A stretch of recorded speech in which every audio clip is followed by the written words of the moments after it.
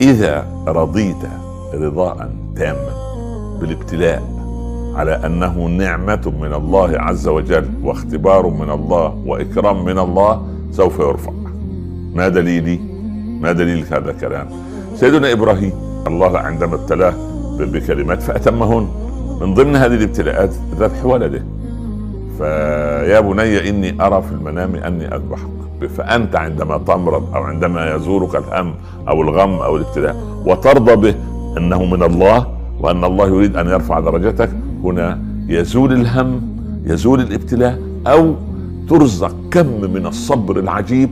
فلا ترى أن هذا الابتلاء ابتلاء كقطرة حبر داخل إناء به مئة جالون من الماء.